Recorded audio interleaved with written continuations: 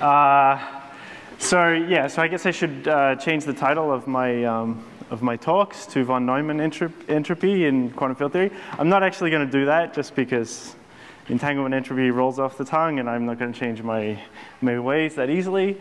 Um, but this is the plan. So the first lecture, I'm going to give uh, some background.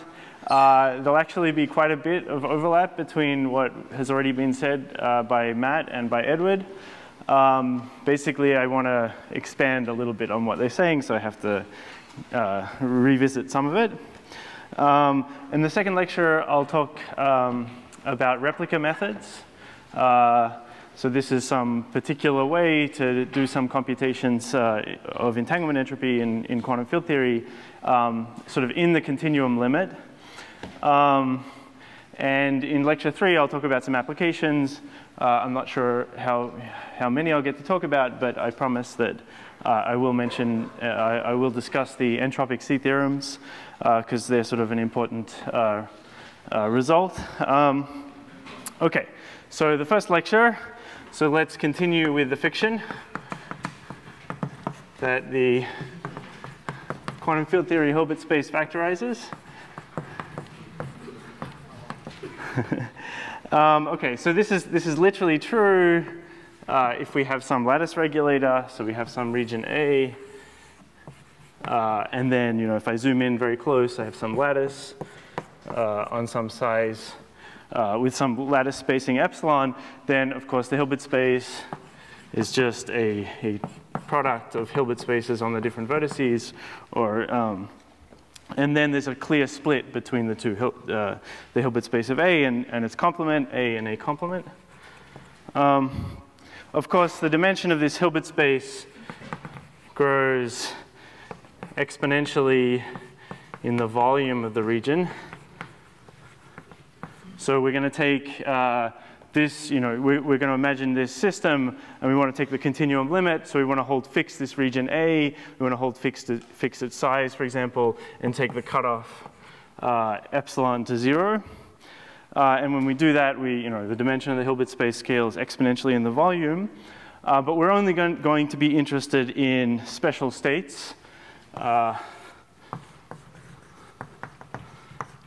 that, if you like, sort of by definition, uh, exist you know, uh, in the continuum limit.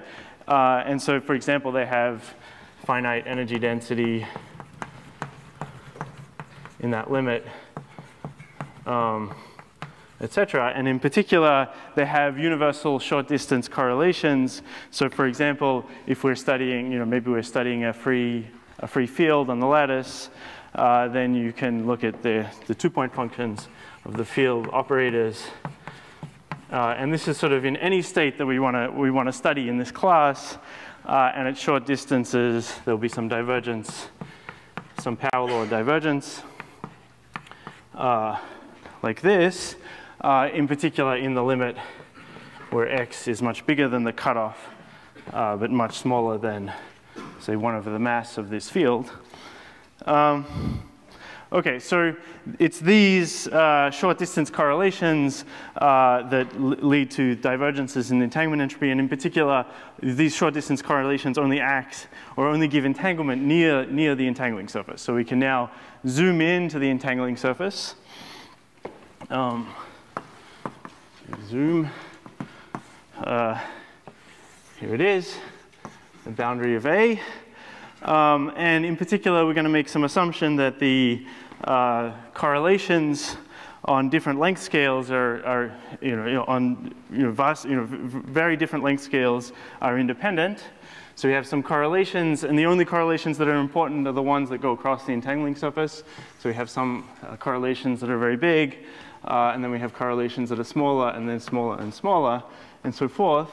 Um, and it's this uh, uh sort of the, these correlations on this uh, arbitrarily small scale that leads to uh, divergences in the entanglement entropy.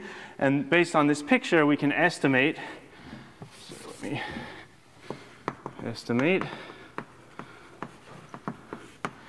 the entanglement entropy of A, at least the divergent piece, as some, uh, let me go to the next board as some integral some contributions on various length scales. So L is my length scale of this excitation, of this correlation. L here. Um, and this integral goes from the cutoff to some other, some other IR cutoff, for example. Uh, it could be the length, the size of the system, or 1 over the mass. Um, and then, because this is local to the entangling surface, you can basically do dimensional analysis. And so you have an integral over y, which is on the entangling surface. Uh, and then you can just basically put, uh, the idea is that you can uh, put here various geometric quantities and use dimensional analysis to figure out what power of L you should put in front of those geometric quantities. And so these geometric quantities are determined by the shape of the entangling surface, if we decide to study things on curved space, then they'll, they'll depend on the, the, um, the Riemann tensor of the, of the background. Um, uh, okay, so the first term is just a constant. I'll call it alpha d minus 2. And so because we're integrating over d minus 2 dimensions, this, this, sorry, my field theory is in d space-time dimensions. Uh, and because we're integrating over a codimension 2 surface here, uh, I have to put in here a factor of L d minus 2. Uh, and then there are other terms. For example, there's one at d minus 4, which depends uh, on the you know, geometric quantities at the, the location y. And then I have some other power and dot, dot, dot. And all the way to alpha 0, uh, which, has, um, which is made of geometric quantities with dimension d minus 2. Okay, so then I don't need to put any factors here. Um, and so this is the form of the entanglement entropy. Uh, and then, of course, there's a finite piece. So alpha 0 should have a log Oh, oh ah, yeah. yeah, right. I haven't integrated yet. Um, and so this, this integral is sort of motivating where that log comes from. Um, Okay, so a few comments. So this is, this is what people usually write down, but actually there are more terms and you should be, you know, should be aware of it, although I'll sort of only mention it and then we'll specialize to these, these terms. Um, uh, let me play this game.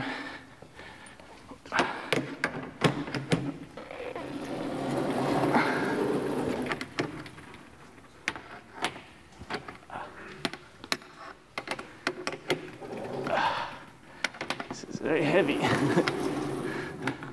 okay. Um, so, so, uh, so other dimensions can arise. Um, I'm not going to give a complete list, but there's a particularly sort of uh, troublesome one, which is that if you have some other relevant operators, operators in the CFT, uh, then they can appear as vevs in the state, and then you have some L to some power nu. Um, and this was studied by, well, this was sort of systematically studied by Marolf and Wall. Um, and in particular, this is a, a, a, a sort of a, bad example because it's state dependent, right? So the VEV depends on the state. Uh, and otherwise, I'm going to claim that these, these these objects are state independent. So they're the same in any state that you choose. Um, okay, but you, you, should be aware of these. Uh, and okay, very good. Uh, and um, okay, so let's specialize to the geometric quantities. Uh, I should say that there are ways to remove these terms if you look at quantities that you know Edward has talked about uh, such as relative entropy, then these go, these go away. Okay, so the, um, the various terms in this expansion, well, uh, they're made up of uh, you know, the Riemann tensor and the extrinsic curvature to various powers. And in particular, you can only have even powers of the extrinsic curvature. So schematically, they're of this form. Um, so R, okay, so again, we're assuming that we're, we're not, maybe not working on a flat background. The extrinsic curvature, if I have some codimension 2 surface, uh, in, in space-time, then there are two normal directions. So there's, say, one time-like nt and one space-like nx, and these are vectors. So these are normal vectors uh, at the point y. And um, you can define two extrinsic curvatures to this surface. Okay, alpha, so alpha is labeling t or x here uh, as just derivatives of these normal vectors projected onto the surface. So if this surface is de defined by some function x mu of y, i, then p mu i is just the partial derivative of x mu. So these are the extrinsic curvatures, and the reason they can only appear as squared, well, there's actually two reasons. I can give you two reasons. Um, so the first reason is uh, in, in the ultraviolet, the theory should be boost invariant. In particular, it should be boost invariant around the entangling surface, around this direction. And so I have this free end x here, and so I have to contract it with something. And the only way to do that is if I square it. So I have combinations like this, alpha, KL. Uh, the other reason is that, at least for pure states, we also know that for pure states, S of A is S of A complement, and if you assume that the contribution is state independent, then we can study this in, in the vacuum, which is a pure state, uh, and the, um, the difference between S of A and S of A complement in terms of these divergent terms is just get, got by flipping the sign of these, these normal vectors. So kappa goes to mi minus kappa. And so that means you can't have linear terms, otherwise they would violate this relation. Um, okay, yes. Yeah.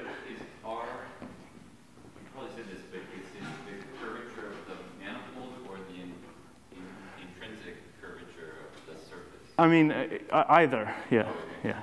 Mm -hmm. Yeah, so I should have said that, yeah. So you, you have, you can also, you can talk about the curvature of the background manifold, which is at this location y, but you can also talk about the curvature of the extrinsic, of the, the intrinsic curvature of this surface, uh, and they both will appear, although they're related. Um, okay. All right, so uh, let me give, um, so, right, so let me discuss the most interesting term here, which is this alpha naught. So when we integrate dl over L, we get this log uh, divergence. Uh, and this log divergence is somehow the most robust thing. In particular, all of these other terms are somehow scheme dependent. They depend what regulator you pick these coefficients. Um, so let's discuss alpha zero. Uh, let me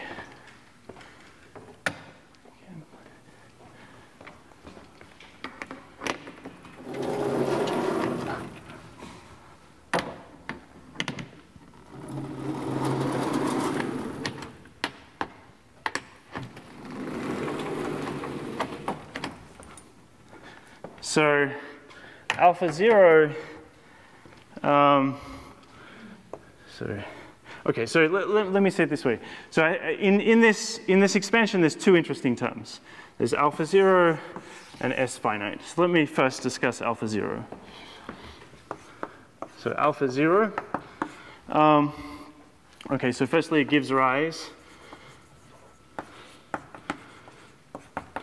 to log divergences. So you have log L of epsilon or log C of epsilon. Um, and uh, let me give three examples. Okay, so the first example you've seen already in two dimensions. Alpha zero, you can calculate using CFT methods for, right, so at this point I'm gonna specialize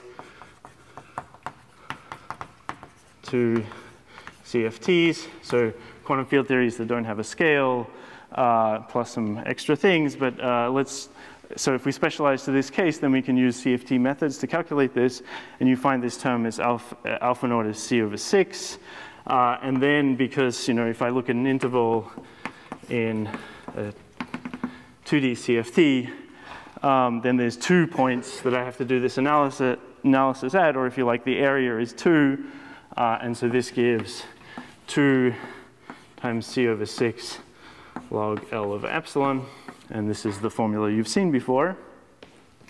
Um, the second example, sorry, uh, the, the next case is in four dimensions, uh, where alpha naught you can show has two terms, 1 over 2 pi times a, which is the trace anomaly coefficient, and c, or one of them, this is the other one.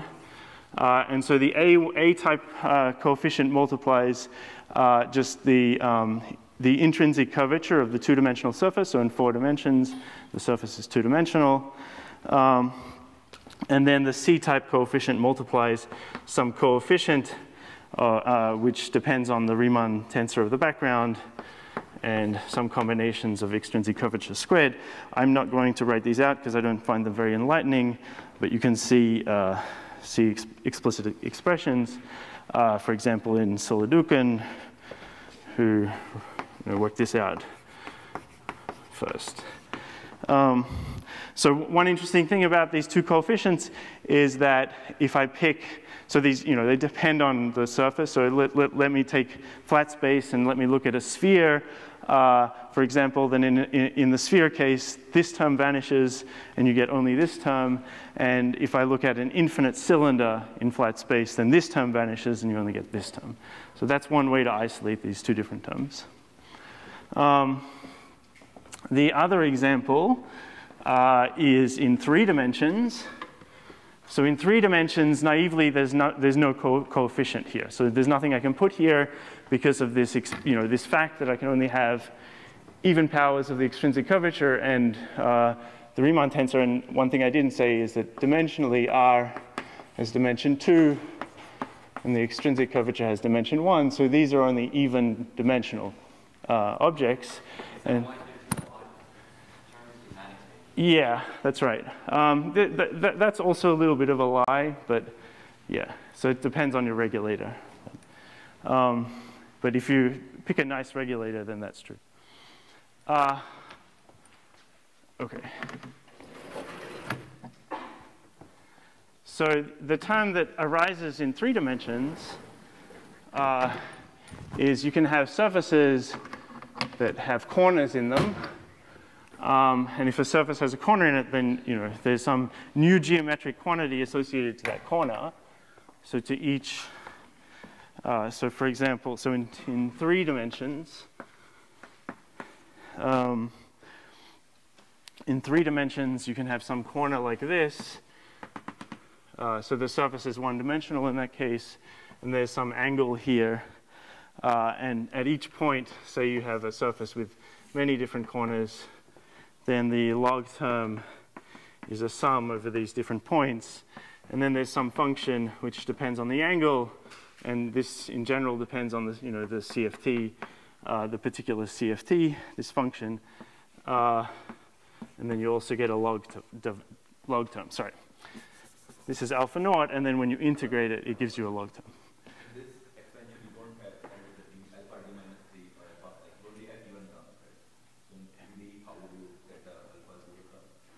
Yeah, so I, I think I, I, I misspoke. I'm, when I say the alpha zero term, I mean there's a coefficient, there's a log divergence in the, CF, in, in the 3D CFT, which is like this.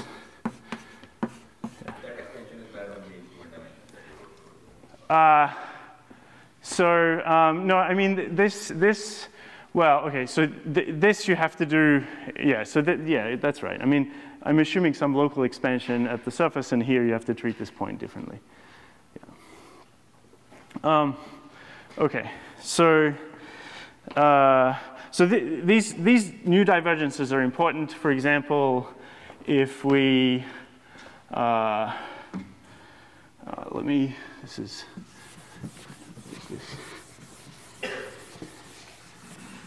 these. New divergences, so these log divergences are important.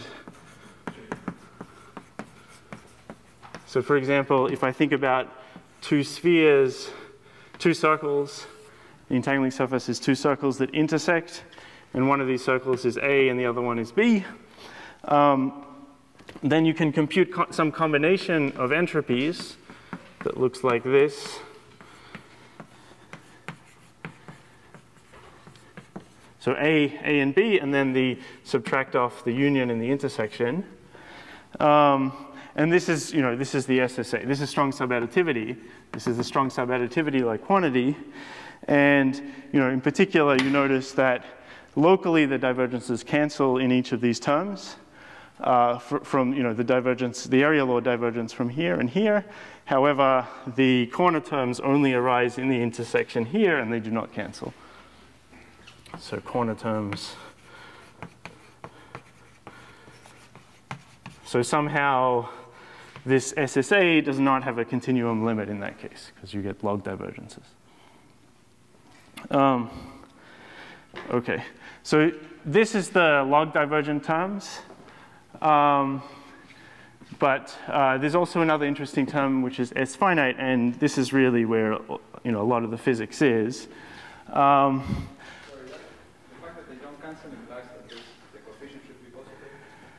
Uh, it, it, it, implies some constraint on this co coefficient. This is a function, there's some opening angle here. There's certainly a, there are certainly strong constraints on this function. Yeah. Um, yeah. So you have to work it out. Yeah. Um, okay, so uh, the finite term, well, okay, so let, let me explain one interesting consequence of the finite term. So the, um, the finite term, if I take the state to be vacuum and I pick a sufficiently nice regulator, then the finite term makes sense. And so let's say, let's work in three dimensions. Um, and we take A to be a ball then again, you can use conformal met methods, uh, CFT methods, to show that this finite term is related to the uh, log of the partition function of the CFT on S3. And this is sometimes called minus F. Um, and of course, it's interesting that the various coefficients that appear here, C, A, and F, you know, all have some kind of uh, monotonic behavior under RG flow. Uh, and so this is not a coincidence, and I'll discuss this uh, in a little bit. But in, one thing to notice is that they all arise for, for, for ball, ball, ball regions. So A is a ball here. Uh, for the ball case or the, the entangling surface being a sphere, this term vanishes, so you get this term, and in two dimensions, there's just a line, which is sort of a sphere uh, a ball. Um, okay, so that's one example of S finite, how it's interesting. Uh, however, you know, I, I, would like to say that S finite in general, you know, you have, um, in general, this is for any state, so S finite depends on all sorts of things. Uh, S finite depends on, you know, uh, the region A, it depends on the state, it depends on the theory, it depends on all sorts of things. And so, for example, um, for example, in four dimensions, you might say S finite doesn't make any sense because there is, if you integrate this, you get this log divergence in four dimensions. And so if I change my cutoff by scaling it, for example, then that will change S finite. But of course, it changes S finite in a very particular way, which depends on these geometric quantities. Uh, and, and so if I vary any of these other quantities, then I can make sense of S finite. Okay, and so I, a lot of a lot of what I've what I've focused on in studying entanglement in quantum field theory is trying to extract interesting stuff from this. Okay. Um, okay, so let's talk about strategies for that.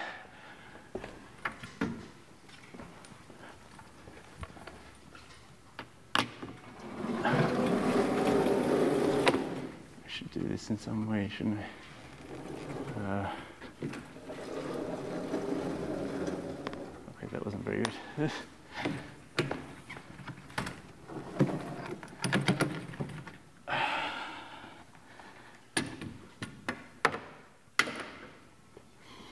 okay.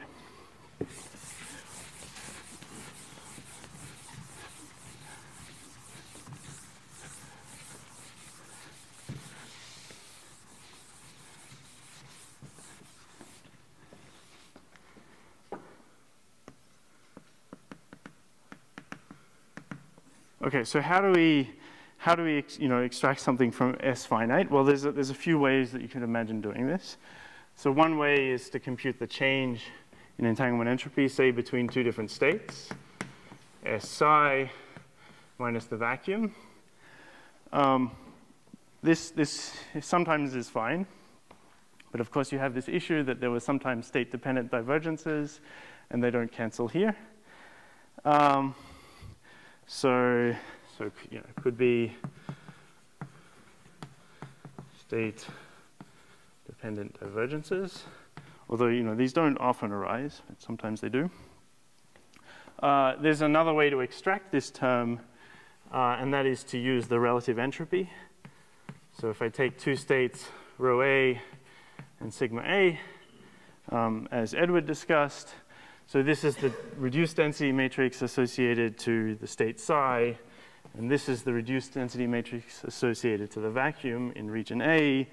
Uh, then, at least continuing with this fiction, where I can talk about density matrices, you can make the following manipulations on this quantity. So this is the definition of the relative entropy. Uh, basically, if you add and subtract, uh, if you add and subtract, so subtract sigma a log sigma a, and then, so I'm adding this, I have this other term minus trace rho a log sigma a, and then I add this. So this is just a rewriting of this. Um, then these two terms, these two contributions can be written uh,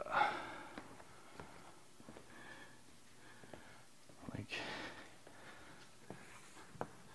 we continue here as, well, what is this?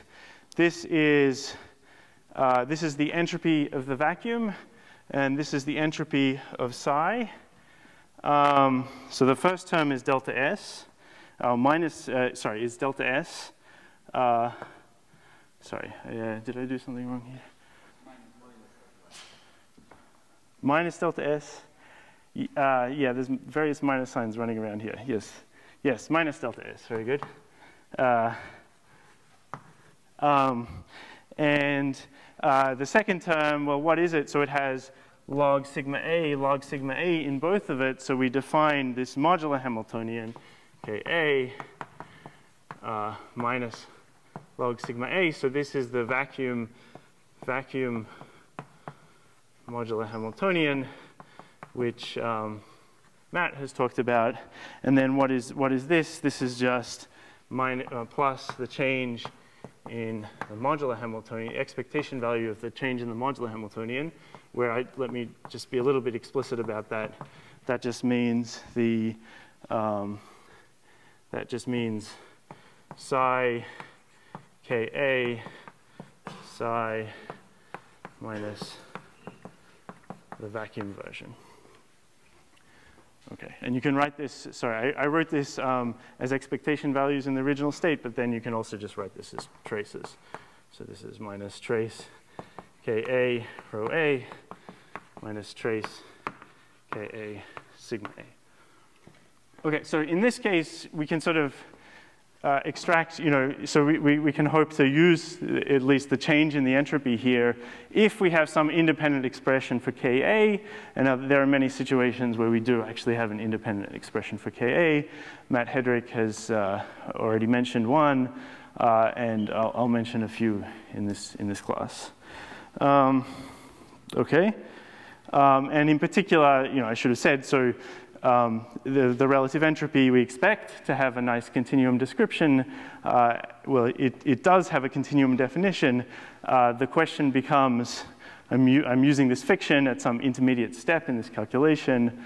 Uh, the question is, uh, does the fiction reduce to the precise definition using the Araki formula? Um, so, good. Um, Right, so, um, let, okay, let me say a few words about that. Um, so, you know, my philosophy for this fiction is that uh, where Um, so my, my philosophy for, for this fiction is that it's nice to do calculations. I like to do calculations. Um, and sometimes the only way to do calculations is to put in some kind of regulator uh, and compute these quantities where you can literally think of it as a trace uh, and compute this relative entropy in that way. Um, and, and so um, at the end of the day, if we want to use algebraic quantum field theory ideas like proofs, proofs of monotonicity of relative entropy and so forth, then what we have to do is establish that we've, you know, we've, uh, um, the quantity that we calculate. So firstly, we want to calculate a quantity uh, using, using this fiction, and then we want to write it in terms of something which has a well-defined, which we expect has a well-defined continuum limit. Um, and so, you know, it at least has a chance that the quantity that we calculated is the continuum quantity. Now, I think in some situations you still need to work to prove that. Um, uh, but yeah, so uh, you know, I like to do calculations, and using uh, you know algebraic methods to do calculations is hard, and I, I don't think has been developed very well. Um, okay, so good. Uh, all right, so there's another way that people have discussed to extract this finite term.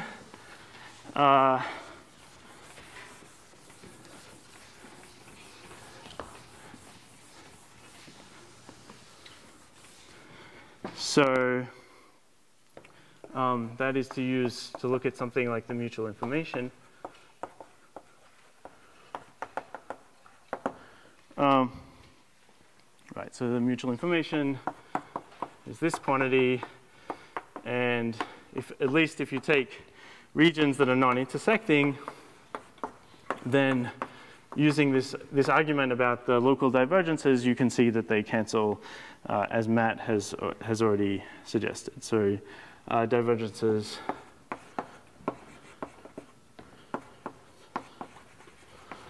um, between these guys. Uh, actually, there's sort of there's a different argument that I'd like to that I'd like to give that, that's sort of been emphasized by Horacio Casini uh, for why you might think uh, the mutual information has a has a nice continuum limit.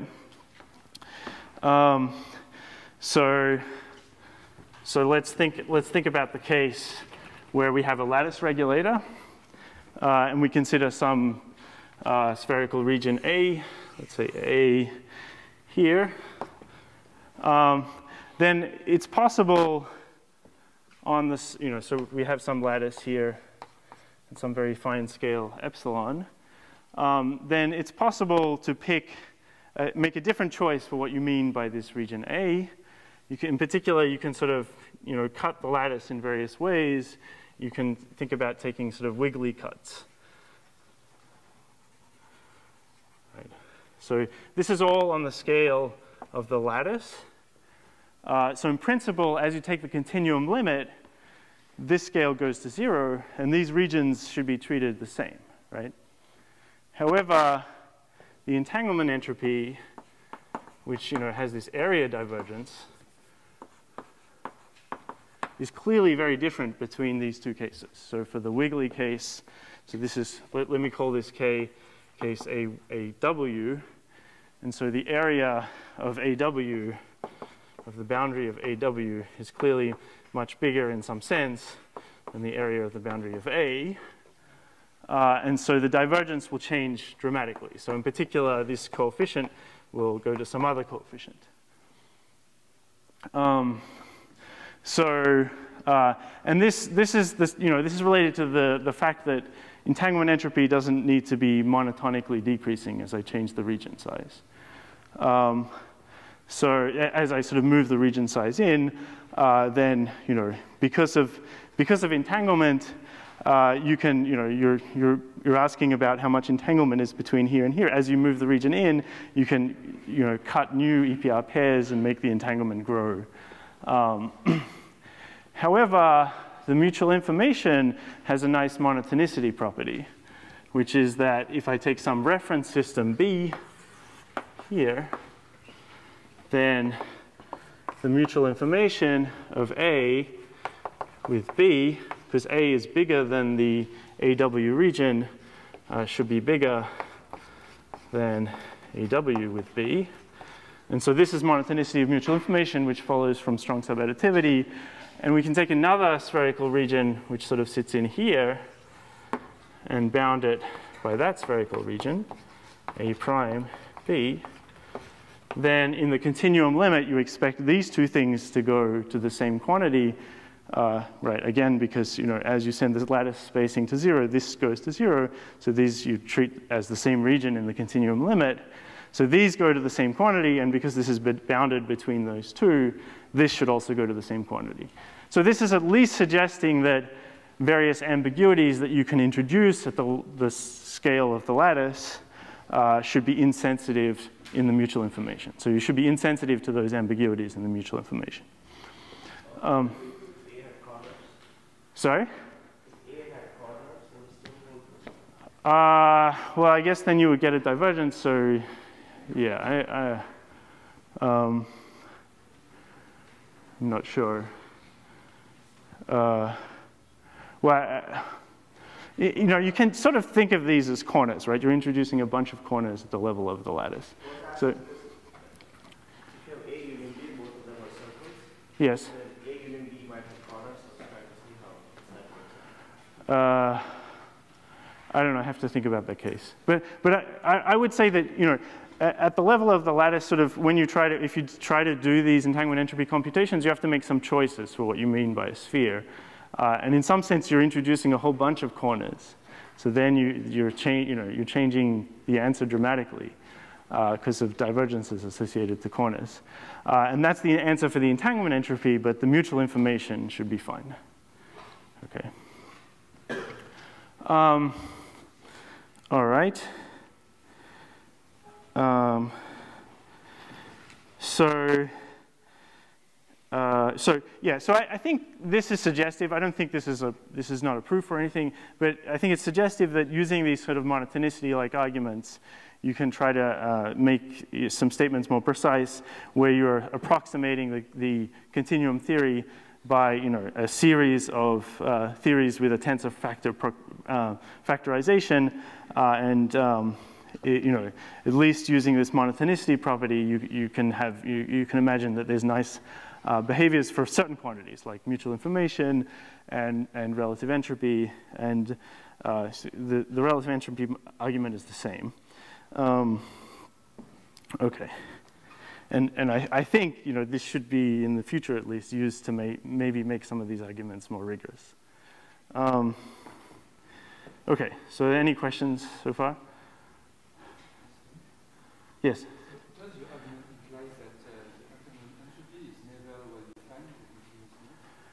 Yeah, yeah, I mean, yes, yes. Uh, in, in these systems in the continuum limit, the entanglement entropy is, is never well defined, yes. So the various terms in the entanglement entropy might be well defined, uh, but yeah. Mm -hmm. um, okay.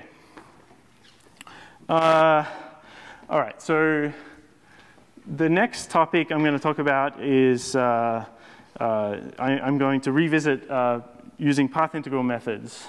Uh, yeah.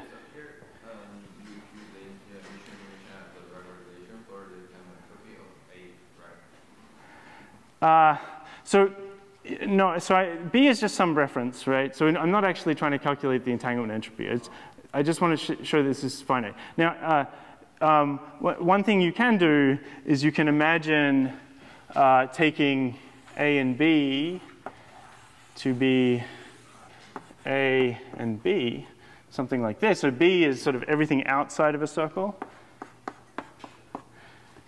Uh, and A is everything inside of a circle. Um, then if, you know, at least if your state is pure, then um, you, you might expect that this is sort of a good approximation to the entanglement entropy because, you know, at least if I call this scale delta, um, because of purity, so S of A is equal, sorry, S of, let me write it this way, S of B is S of B complement, which is then a circle which is, you know, has a very similar area to this circle. And so if I take delta to be small, this is approximately S of A. Um, and in particular, S of AB, which is sort of everything except this strip, is the same as S of this strip. And as I send delta, delta to zero, you might expect that uh, the contribution from that strip is small. So, uh, you know, a, a possible regulator for entanglement entropy is that I say S should be replaced with the mutual information of AB like this over 2. Now, um, this is, you know, the, the, the this is, um, in the limit, delta goes to zero, you, you, know, you might expect to go back to something like this. And it sort of makes, it, it, sort of makes sense, right? Because as delta goes to zero, actually the mutual information has various divergences. And those divergences should look very similar to this. However, now, because the mutual information has a continuum limit, as long as delta is much bigger than the lattice scale, this sort of expansion that you would write for this mutual information, all of the terms in the expansion are completely well defined. Um, so this is, you know, so this is an idea for, for one way to regulate uh, entanglement entropy in the continuum limit. Of course, then the onus is to show that this has the same properties as this, uh, which you know, may or may not be true. Uh, um, okay. Uh, any other questions? Yes? In, in what case does it tend to scale differently with distance than the correlator? Uh, so you're asking about, because uh, uh, I said that in a free theory it goes like this power. Is that what you're asking about? The, the correlator goes like this? Yeah, and so I imagine the mutual information when the balls are very small should have a similar power level. No, so that power, that, that power is different. So I, th this is not true. So, so th this was an example I said. Uh, I should emphasize if I have a, a, any sort of UV CFT, so interacting CFT, then the correlators do not scale like this, they scale like other powers, then you still expect this, this expansion. So you expect L to the D minus 2. There might be these other operators that can arise, these state-dependent operators, but otherwise you expect a similar expansion to this. Just asking about mutual information between two regions, and we know that mutual information bound the correlation. Oh, sorry, I, I misunderstood. Yeah, I'll mention that later. Yeah. I imagine this is like a non-local version of the correlation between two regions. Yeah, so, so actually it's a, it's a great version of the correlation between two regions because it's sort of all correlations. Um, so I'll, I'll, talk about that later. So the question was about, I misunderstood the question. The question was about, you know, what happens when you have two regions like this, uh, A and B. Then indeed, the mutual information is related to correlation functions. And I will, uh, I will talk about that in later and it's more lectures. than just the average. Yeah, it's more complicated. Um, you, get, you actually get the square of the correlators. Okay. Uh, uh, other questions?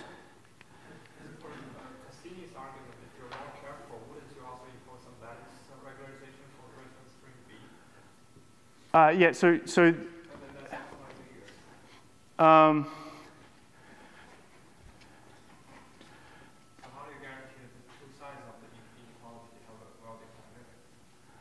But I'm fixing B. So B is the same always, right?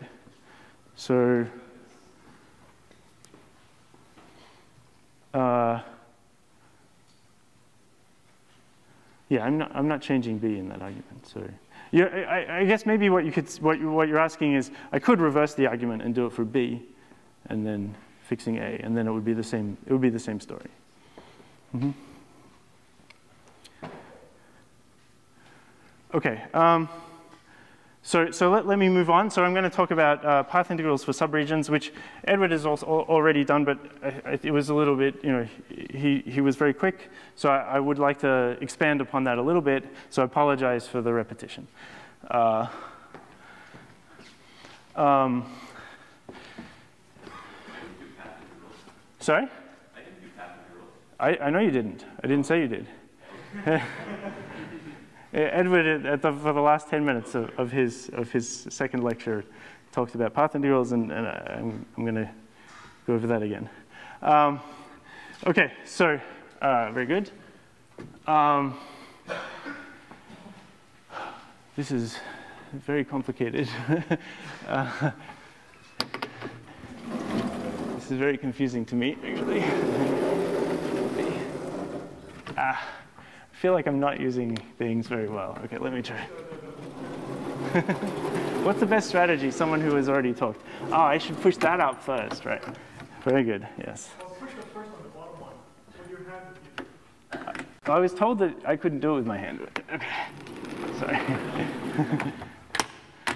I've got this here now. So. I was gonna say push that up as well. Keep going. Ah.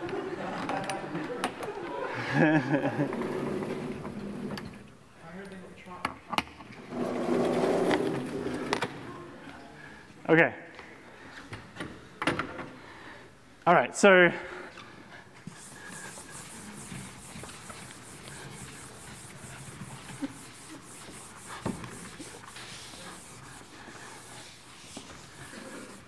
Okay, so path integrals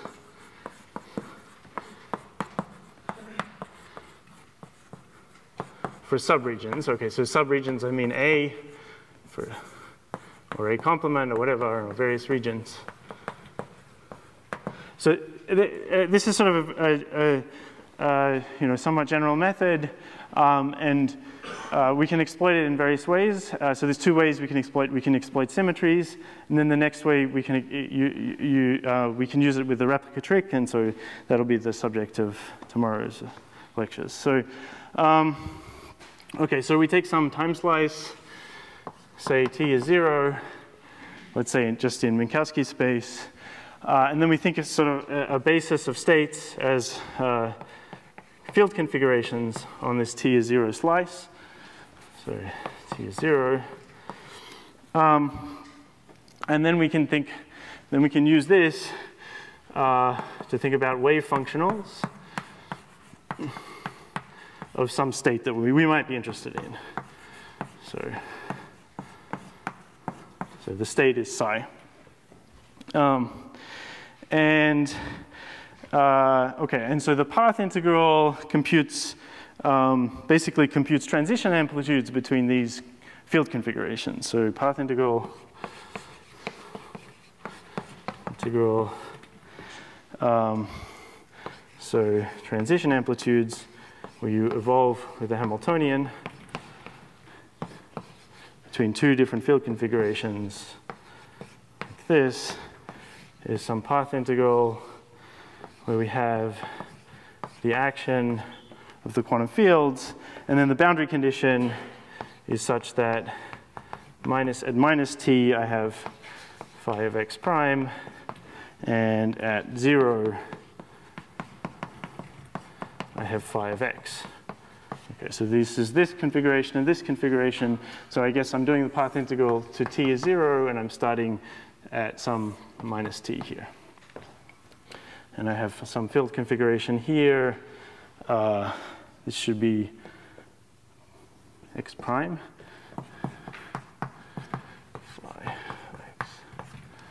Um, okay, so now uh, one, you know, uh, one nice thing that the path integral gives you is a way to compute um, uh, ground states.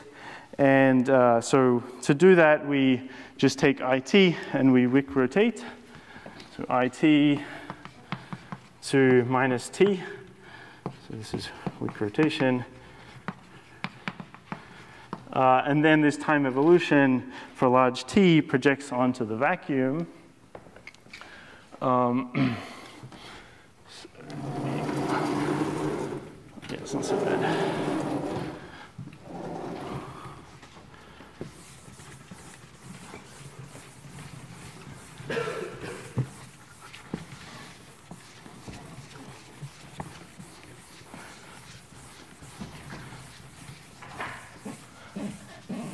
So it projects onto the vacuum.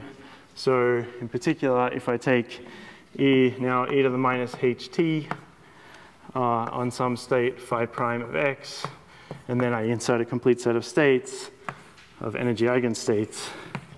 This goes like e to the minus t e e e phi prime of x, and the thing that survives is the lowest energy, um, right? The, in the limit t goes to infinity, the lowest energy uh, um, survives, which is the vacuum, and so t goes to plus infinity up to some normalization, this goes to the vacuum state times some stuff, right? So that stuff in this case depends on this field configuration, but it won't be important for us. So we're going to ignore this. Basically, you hold fixed this boundary condition, uh, and then we vary. So we're going to hold fixed the bottom boundary condition, and we vary the top boundary condition. And in the limit t goes to infinity, the bottom boundary condition doesn't matter. So then we have an integral representation, a path integral representation for the ground state, which looks like this. Phi of x, ground state. Maybe I'll use omega for ground state. This path integral from Euclidean time is minus infinity to phi of x d phi. And now, because we've Wick rotated, we just have the Euclidean action. Okay. Um, right, so then, good. Um, now let's consider, so this is for, for this, for this, you know, uh, this is for the bra, the, the but you know, we, we, want to talk about density matrices, so we need two of these and we need the Hermitian conjugate of this. Uh, and then we're going to put these two path integrals together. When we take the Hermitian conjugate, in Euclidean you flip from negative Euclidean time to positive Euclidean time. So then we have to put two things together. Um,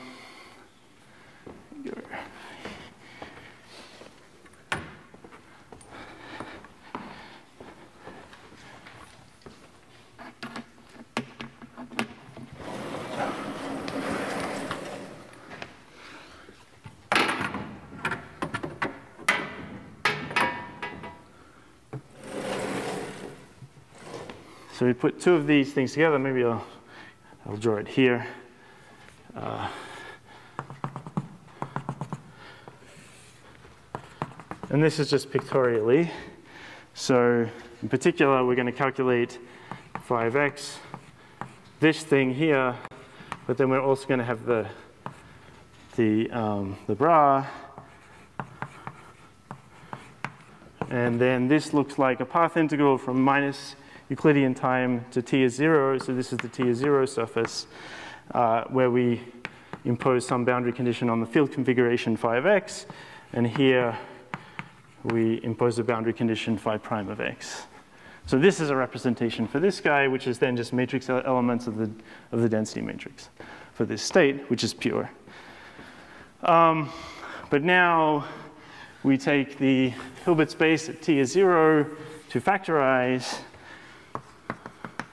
into some HA, HA complement. And in particular, you take field configurations to fa factorize. So 5x is some phi of A complement of x tensor phi of A of x, where these two field configurations sum up to this, and they're zero on the various components. Right, so this is zero on the A component, and this is zero on the complement component, A complement. Um, okay, and then we're going to do this for both of these, and then we're going to trace over A complement. Right, and so tracing over A complement, uh, so trace over A complement corresponds to doing a uh, integration over the field configurations phi a complement uh, at t is equal to zero. So these are field configurations just at t is equal to zero. And what that effectively does is glue, so we split these two up into various pieces. We have a, a complement, a complement, and what this integral does is just glue together the two path integrals here and here, and so you're just left with this little cut here. So you can glue these together like this. You, sorry, let me redraw this.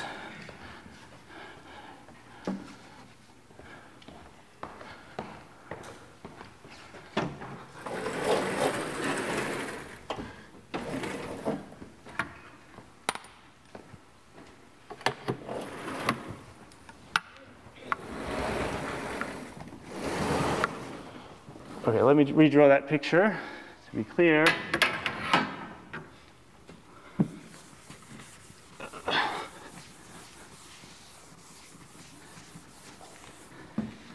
So then that picture is basically uh, gluing this together means you just do, you allow the path integral just to go through this section, and then you're left with two cuts here and here, with boundary conditions on the cut, uh, which are basically phi a prime and phi a.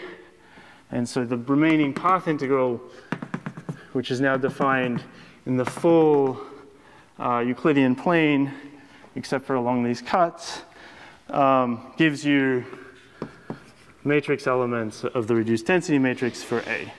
So in particular, you get phi A of x, rho A, phi A complement. Um, okay, so this is sort of our final pictorial representation uh, for the reduced density matrix. It's this path integral. Uh, there's no boundary conditions across here, no boundary conditions across here, but then you impose these boundary conditions here and here. Um, Sorry. Thank you. yes. Thank you. Um, okay, but you, you can already see from this path, this path integral that there's going to be significant issues at the boundary here. Okay, and those issues that I'm sort of just ignoring are the UV divergence issues. So those are the, you know, that's, that's where the, uh, you know, um, the uh, divergences in the entanglement entropy are going to come from. Uh, one option that you have um, is to just cut these out. So you just put a little hole here, like this, and you do it at some scale which you call epsilon, suggestively, uh, very close to the entangling surface. So these two points, I should say, are the entangling surface because they're the boundary of A. Uh, and, and, the other thing I should say is I'm just drawing in two, dimen two dimensions. Uh, however, this, this works in, in arbitrary dimensions, okay? Um, but when you cut this out, you need to, you need to do something with these boundaries, right? So you need to in, in, impose, impose boundary conditions uh, at the circle. Uh, and so you can do that, but then there's clearly some arbitrariness with what you do there. Uh, and yeah. Um, okay, but th th this, is, this has a name. This is called the hard wall cutoff. This is the hard wall cutoff. So this is another regulator. Um, okay, so now uh, um, now we can sort of redraw this picture by thinking of doing the path integral in a slightly different way. So here we're doing the path integral along time slices like this, and that was giving us projecting onto the ground state, projecting onto the ground state. Um, but now, basically, we can choose to slice open the path integral in various ways. When we do that, we associate to codimension one surfaces, like these, these, these lines here, uh, Hilbert spaces. And so the path integral just gives you time, uh, so it gives you some evolution between those Hilbert spaces. Um, and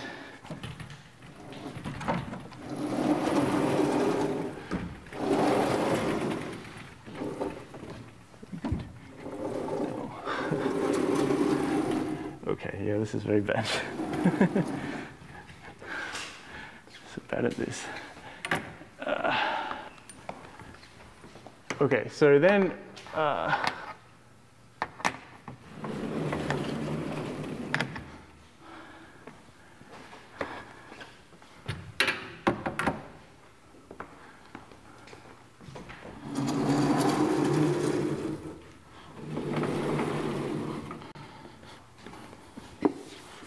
Okay, so now I can choose to slice open the path integral in a different way. Um, as follows.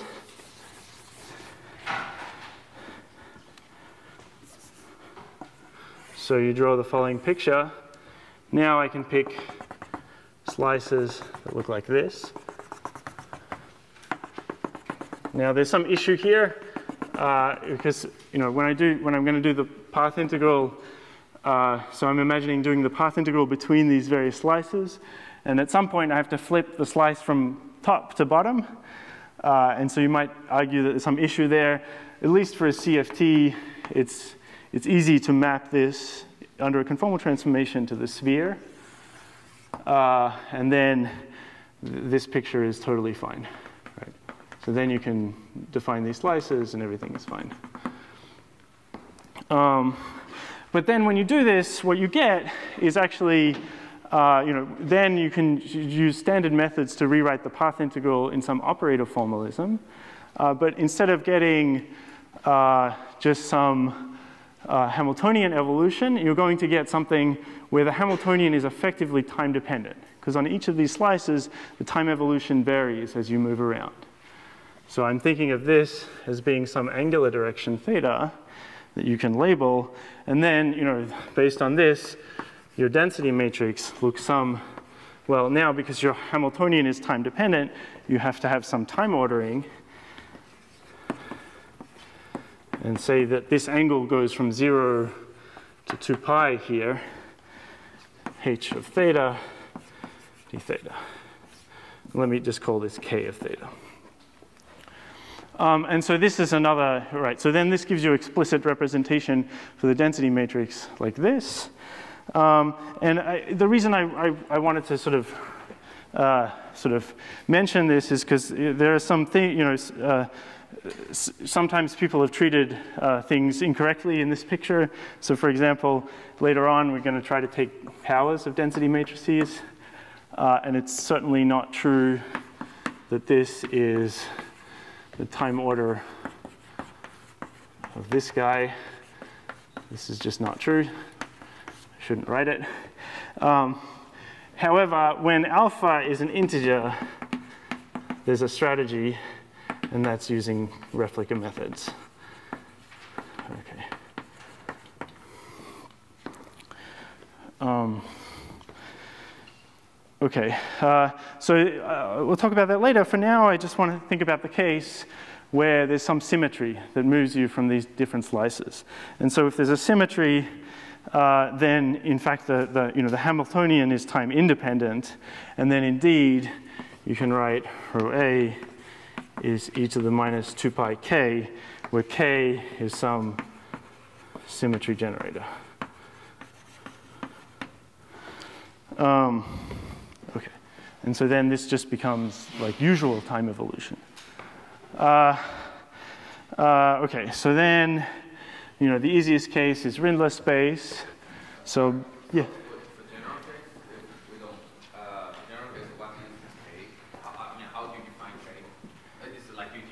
Yeah, sorry, I, I, should be careful. I should really be very careful here. Um, so, yeah, I'm not being very careful. So, so Ka, so actually sometimes, you know, so, so in the general case, you know, you can also talk about uh, the modular Hamiltonian, which is just defined as minus up to 2 pi log of the reduced density matrix. And so in that case, you would take log of this operator. And that's fine. Um, and then when you take powers of it, obviously you get e to the alpha k, right? And that's fine. Uh, but it's not this. And that's what I wanted to say. Um, okay, but in this case, in the symmetric case, K is actually some symmetry generator. So that's, that's the case we're going to, to study now. Um, okay. What should I do?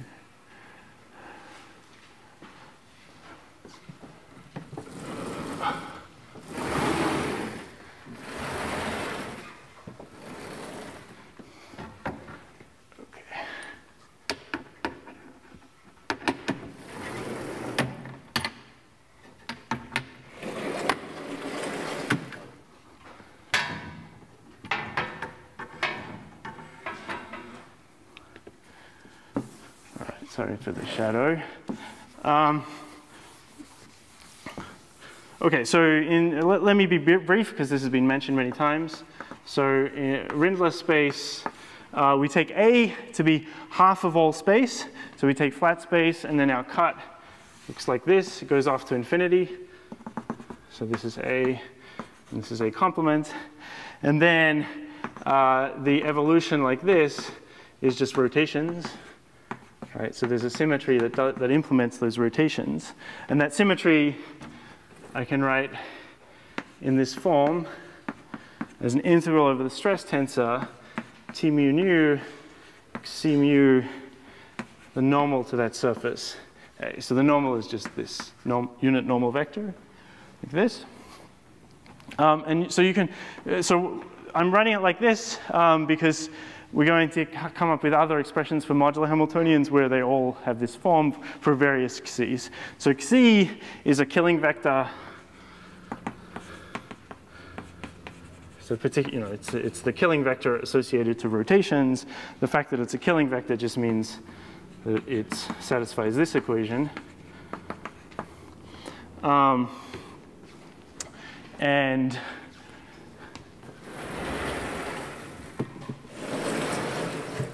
So then, uh, in this case, xi is going to be i d by d theta. So if I, you know, if I uh, think about my metric in cylindrical coordinates, d theta squared, and then there's always sort of a, tra a transverse direction that factors out, uh, then xi is i d by d theta, which is i. So this i is just because I'm about to wick rotate to real times, and k is really a boost operator. In this case, in this in this picture, it's a it's a it's a rotation.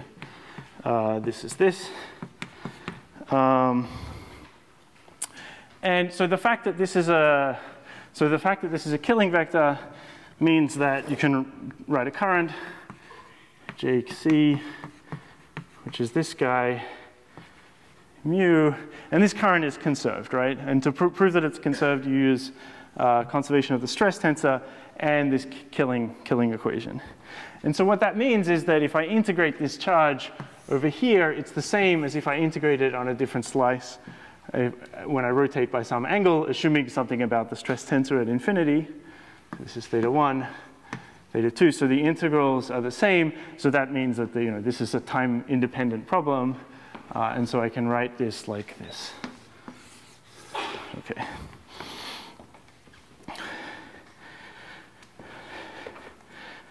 Okay. Um, so then, so then we have this expression for the reduced density matrix.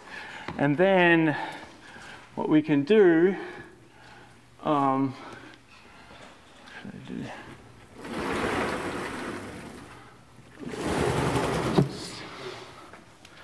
So what we can do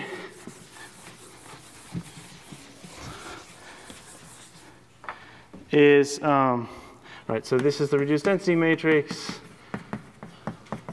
Now we can start talking about the, the op operators that, that uh, Edward defined. So we can talk about the modular operator. Delta, which is then just rho A complement inverse tensor rho A, right? Uh, which then, if you put everything together, it's just e to the minus 2 pi k a hat. So this is, a, I guess, a fairly standard convention now. So ka, I should have said, is only integrated on the region A. Okay, so that's sometimes called the half module Hamiltonian, and it's not the nicest operator. Um, but ka hat is now integrated everywhere. So it's integrated, so ka hat a hat, you integrate T mu nu over a time slice, C mu normal vector. Um, and so this is really what you mean by boost generator in, in the CFT. Uh, and I should say, yes, so then when we wick rotate uh, to real times, this becomes a boost generator. And so the modular operator is just the boost generator. Um, okay, so the, the final ingredient that we need in order to um, reproduce uh, Edwards' uh, Tomita operator is we need one, one more ingredient. So let me introduce that now. Um, that's the uh, anti-linear operator, unitary, sorry, anti-unitary operator. J. So we need this anti-unitary operator, which is CPT with a particular parity operation. So the particular parity operation um, is such that it sends, so here are my coordinates now in real time is t and x. Now we have this you know, nice Rindler wedge picture that people have talked about. Uh, the px is a particular parity where I send x to minus x. So I just send x to minus x, and it does nothing to the other directions. Okay? Could I suggest to call that CRT where R is a reflection? Yes, I, I, I yes, okay.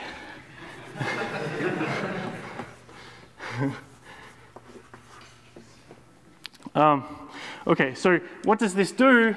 This uh, anti-unitary operator, well, it's anti-unitary because of the, the, time reversal symmetry here. Um, it takes operators, so there's an action on operators, like this. So I should also say some properties of this operator. It's anti-unitary, so it squares to 1. Um, it takes an operator over here to an operator over here in the opposite wedge. So it flips time and, and space, so it goes over here. Um, and so what this operator does is sort of the natural exchange of the two factors. It, it exchanges the A Hilbert space, which is here, with A complement. And it leaves invariant the vacuum state. Right. Um, good. So once we have this operator, we can now construct the full Tomita oper operator.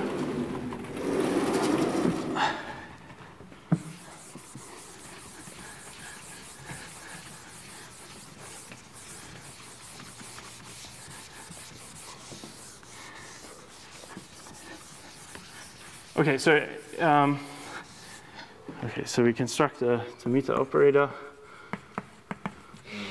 which Edward called S omega as J delta to the 1 half. And so the question is, why is this true? Um, actually, before, before I say that, I, I think maybe I'm, I, I, haven't motivated this very well. Uh, so firstly, you know, we did really well. We, we produced the density matrix. That's, that's, that's good. But of course, we also know the density matrix doesn't really exist. Uh, and so the, the nice thing is this, is this modular operator. So this is, the, this is nice. And so what we're trying to do here is uh, construct things that are well behaved. We expect to be well behaved in the continuum limit. Of course, we're doing it uh, in a way where at an intermediate step we're not in, you know, we, we're regulating in some way. So we might have to put whole, like I discussed there. Um, and at an intermediate step, we might construct this half module Hamiltonian, which is not a totally well-behaved operator. Um, it has divergences associated, very much like the entanglement, entanglement entropy has divergences associated to it. Um, but at the end of the day, when we uh, put these two together, the idea is that these divergences will cancel out and you get something nice. And so that's why I'm going through this, because this is something that we expect to be nice in the continuum limit. Um, okay, so to motivate this equation, uh, I'm just going to motivate it. Uh, let's talk a little bit about modular flow. Okay, so modular flow, um, again, using density matrix matrices, is some sort of obscure operation where you take an operator, let's take it to be an operator in this wedge region, and you conjugate it by the density matrix in that region. Oh.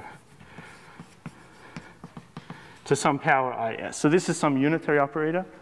Um, so this is some unitary flow. And, you know, for general states, if I was thinking about some general state, not the vacuum state or general cuts, then this is an obscure operation. It really is. It's something strange. It, it produces something, a local operator goes to a non-local operator. However, in this case, it's something nice, and this really motivates studying this more.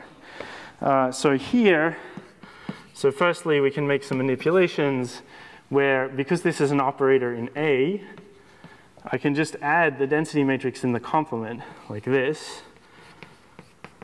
Rho A tensor, rho A complement with a factor of minus IS. So A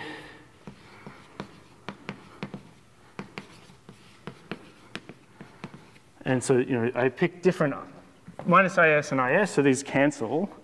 However, now these are the Tomita operators, sorry, the, the modular operators. So I get delta to the IS or delta to the minus IS. And so this is the, the better way to define modular flow because it uses these delta operators. Um, now, uh, uh, and, and yeah, and the other thing is that we know the delta operator is a boost operator. So we know what this does, right? So in the Rindler wedge, it takes some operator, say t is zero, and it boosts it along a trajectory, uh, one of these Rindler trajectories. So if I start here, then I boost it by some amount s.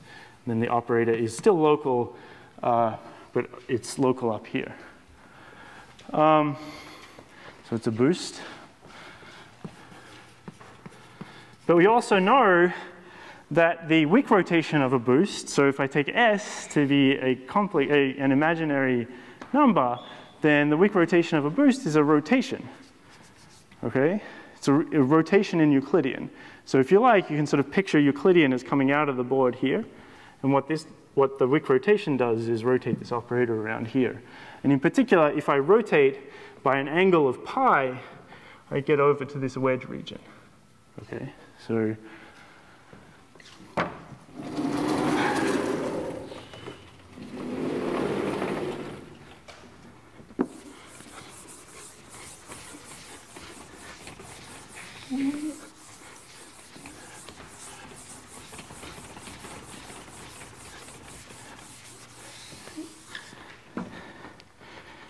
Okay, so boost becomes a rotation if I send say s to i theta over 2 pi. And the reason I have the 2 pi is because remember, in the definition of the modular operator, the generator comes with a factor of 2 pi here. Right, so if I raise that to the power is, then I get k hat. And then this just becomes e to the theta or minus theta ka. Um, and so then if I do that by, by pi, uh, then I get this operator. So pi rotation brings me to the other side. Now this pi rotation, it's a bit subtle uh, because it's really, so in that case, uh, when theta is pi, modular flow looks like delta to the 1 half. Uh, let me get the signs. Of x, delta to the minus 1 half. Now you have to be a little bit careful with this because actually this operator is not really well defined unless it's acting on vacuum. Uh, and one way to understand that is in Euclidean, if I start with an operator over here and I start rotating it in this direction, if I had, you know, if it wasn't acting on vacuum, there might be some other operators here. So there's some other, some W over here. And if I rotate this too far, that it crosses this operator, then these operators are no longer ordered in a Euclidean sense, so in the angular Euclidean sense. And violating time ordering in Euclidean is a really bad idea. Okay, so this would violate, in, in particular, you get divergences. Uh, Euclidean time ordering.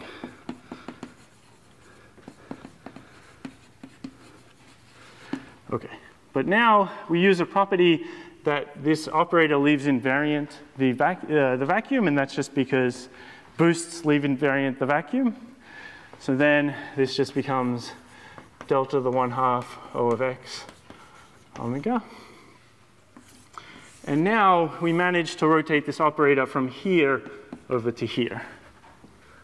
Uh, but there's another way to get an operator over here. Uh, and that is to take the original operator and just reflect. Okay? We just reflect using this CPT symmetry. And so that means this should be equal to J OX dagger J.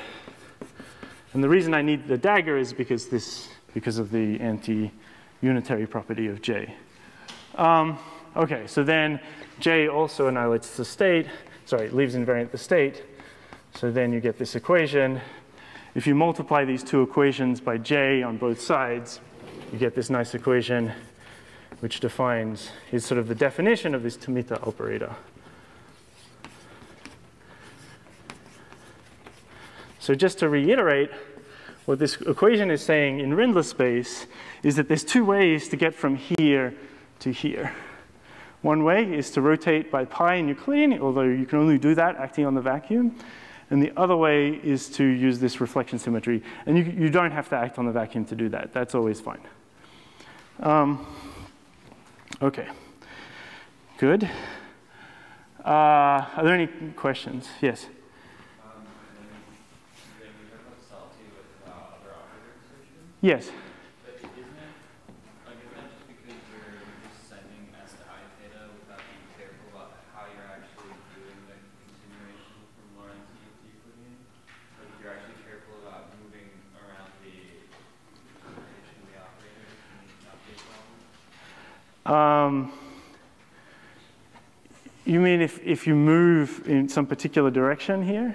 Yeah, like, You should try to avoid. No, yeah, no, no, you'll, you'll never be able to do that. Yeah. Um, yes. Is there a way you can, you can start with a general non-local modular operator, Yes.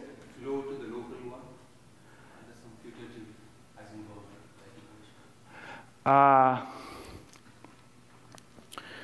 um, I think you might be asking about uh, relative modular operators, maybe, uh, which, which is sort of a relation between modular flow of the non, could be a relation between modular flow of a, a, a lo local region and a non-local. Maybe, I, I don't know much about that, but I was just wondering if I start with two uh, regions, uh, which may not be entangled, which may not be fully entangled, but I want to entangle them.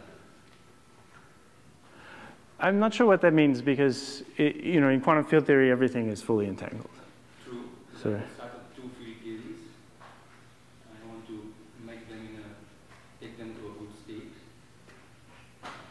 And in the, this, this modular operator it looks very much like, uh, well, you have a, re- you have a regular uh, space.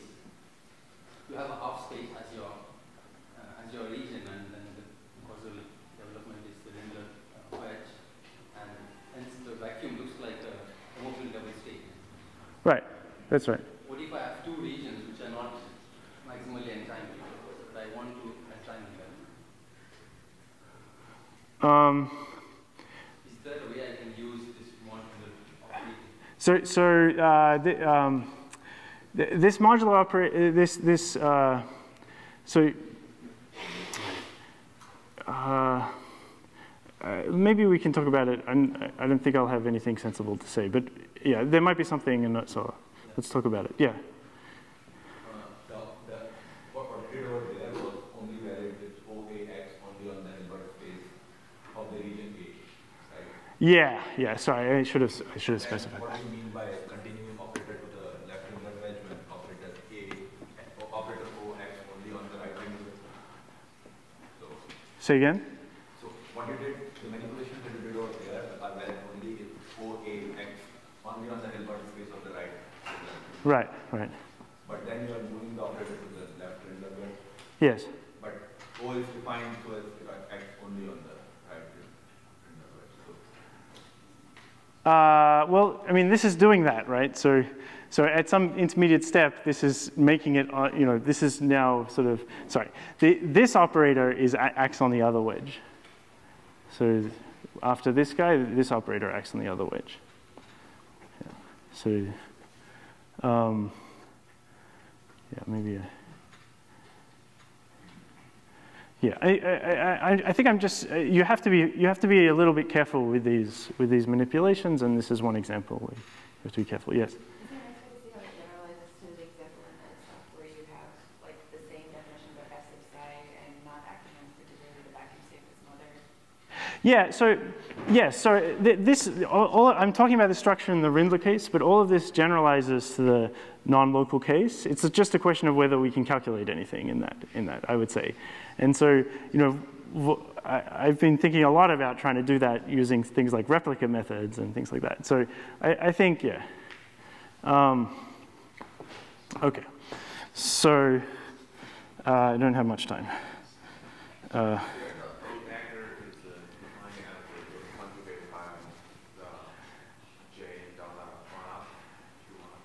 No, no, so O dagger is just the dagger of the operator. I could have taken this to be a Hermitian operator, and then this is just the same operator. So the dagger is, is just the usual dagger. It's just, yeah, there's nothing fancy about that dagger. J, J is antilinear, so you have to be careful because it's anti, an anti-unitary operator, but yeah.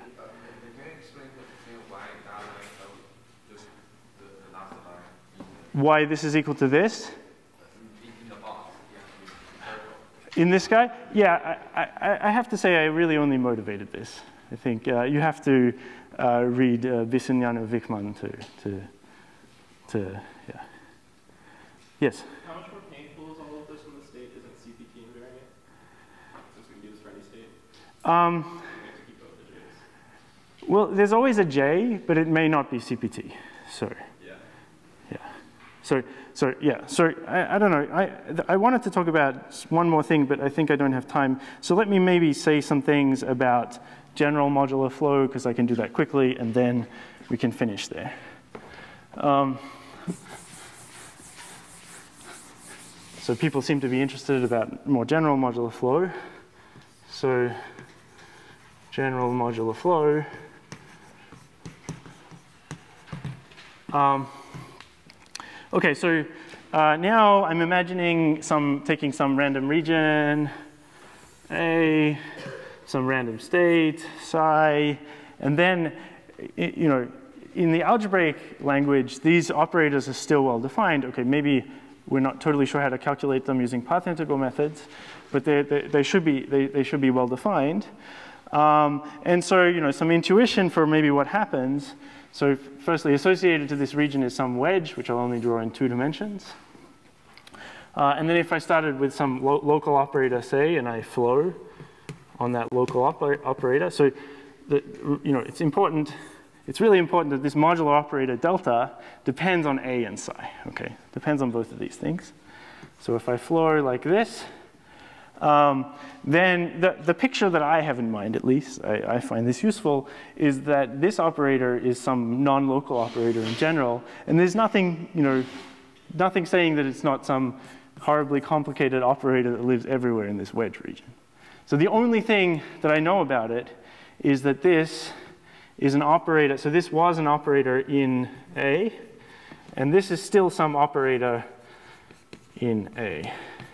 So it, it maps operators in the A region, in, or the domain of dependence in this wedge region, into operators in that wedge region, but they're, they're not necessarily local operators. Okay, um, that's one thing. Uh, and the other thing is the J operation in this case, which is also well defined. Uh, well, okay, it, it's going to take an operator to an, an operator in the complement region, or the domain of dependence of the complement region. And so, you know, have some region out here. And so OJ, if I started with OX here, OJ is now going to be some non-local operator over here. Sorry, OJ. Let me write it like this. O of X, which sort of was a local operator, J. Um, okay. Uh, now, one thing that I think is sort of useful um, is, is that you should sort of think that as long as, if this operator I take very close to this, to the boundary of the region, then you, know, you can sort of run the same kind of arguments we talked about for entanglement entropy. The correlations are universal at short distances, so the entanglement should be universal at short distances. So the flows, that's suggestive that the flow should be universal at short, short distances. And you know, so what does the flow look like at short distances? Well, if I go really close to the entangling surface, the entangling surface looks flat, and uh, you know, it looks like a Rindler cut, right? A flat Rindler cut. Maybe there's some curvature corrections And they could be important, but uh, roughly speaking, this uh, operator should still be an, approximately a local operator where you just move it along Rindler flow. So this is some heuristic thing. There's actually some papers and theorems to this effect, which I haven't really used or uh, understood uh, very well. Um, I, I, should say, we, you know, we have done calculations uh, where, where this sort of is true. So this sort of pops out of the calculation. Um, now, uh, uh under some conditions where true. True. Okay, so Uh, I think I'm out of time, so I'm going to finish there. And so, are there any questions?